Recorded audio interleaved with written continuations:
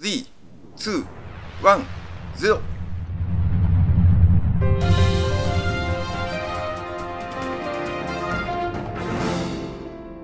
おはようございます。4月の6日の朝、今日も世界一昆布が好きだから昆布屋やってます店長の松下幸一郎が皆様の料理の味を劇的に美味しくできるお手伝いができるように頑張ってます。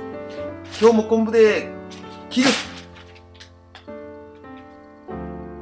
今年の4月の1日、エイプリルフールで嘘をつく人がとても少なく、すごく違和感があったという話をよく聞きます。当日、僕は絶好調でした。それは違和感であった。そんなことはどうでもいいのですが、今日も頑張ってまいります。入学打ち祝いのご注文が多数。入学打ち祝いはお任せください。今日はサラダに青実山椒を乗せてみました。